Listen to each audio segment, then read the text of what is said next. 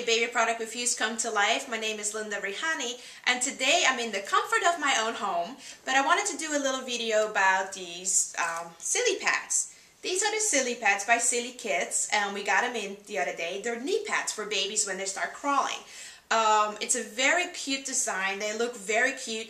Um, they come in different colors. I have the green ones right here but they come in pink, in red, in blue, orange. Um, they look like little socks. You put them on your baby's legs and you put the silicone right on top of their knee.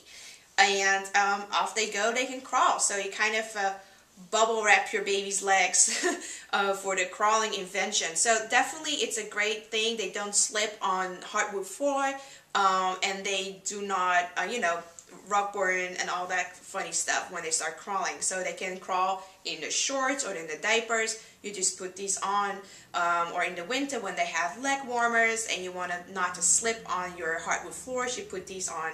Um, it's definitely a great invention. They're $14.95. You can find them on most websites. Um, I found them today at Amazon.com, for example, or you can go to their website at silikids.com. Now I have um, little boy Braden try these out, so let's go take a look. Yeah, right. Look at that. Come on, baby. Come on, let's go. it's like a little animal.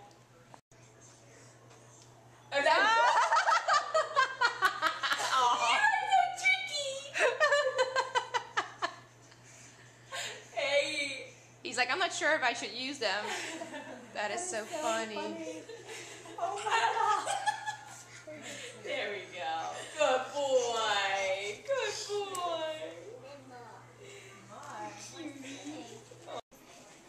So Braden is obviously the cutest little baby, and as you could see, he's a very events crawler. He's a big boy, uh, but an events crawler.